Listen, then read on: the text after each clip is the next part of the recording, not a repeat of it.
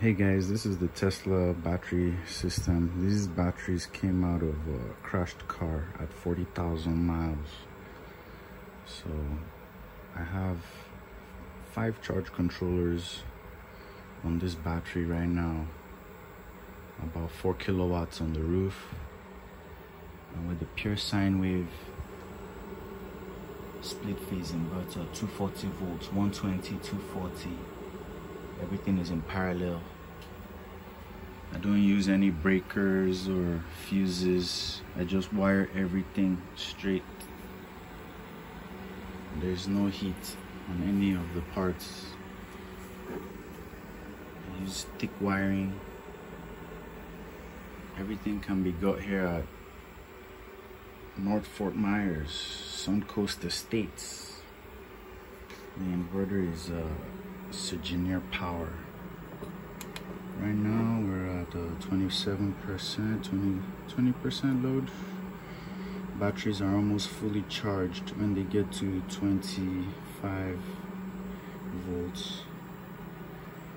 We have the hot air coming out right there.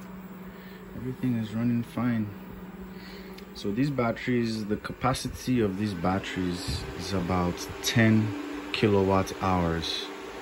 And that will run my one ton AC overnight when I set it to about 73, 74 degrees.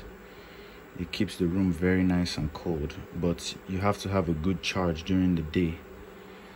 So I have all these charge controllers ganged up charging while powering the load of the house.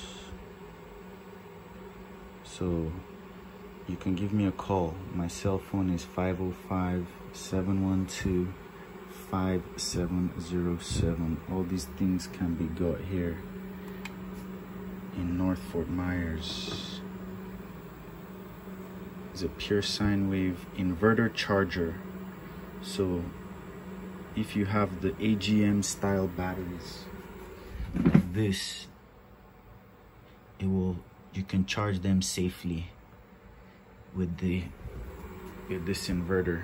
But if you're using Tesla batteries you have to use separate charge controllers that can be programmed so that you don't overcharge.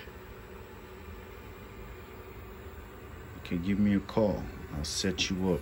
Wiring, panels, batteries, inverter, charge controller, advice, and anything else you might need.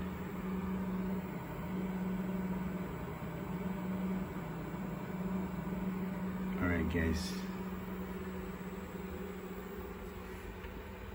Thanks.